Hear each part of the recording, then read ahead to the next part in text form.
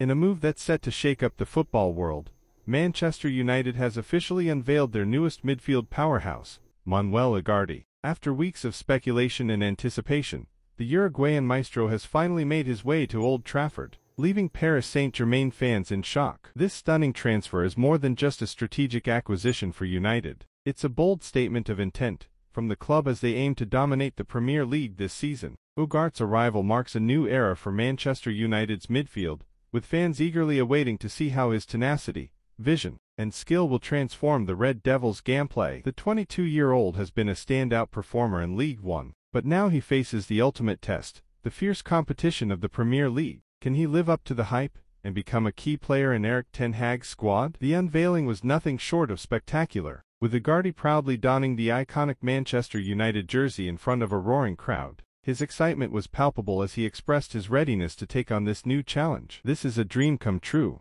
Ugarte stated. I can't wait to contribute to this incredible club and achieve great things together. With Ugarte's dynamic style of play, United's midfield is set to be a fortress, as fans and pundits alike speculate on the impact he'll make. One thing is clear, Manchester United's ambitions are sky high this season. Don't miss out on the latest updates and analysis on this groundbreaking transfer. Subscribe to our channel now to stay ahead of the game.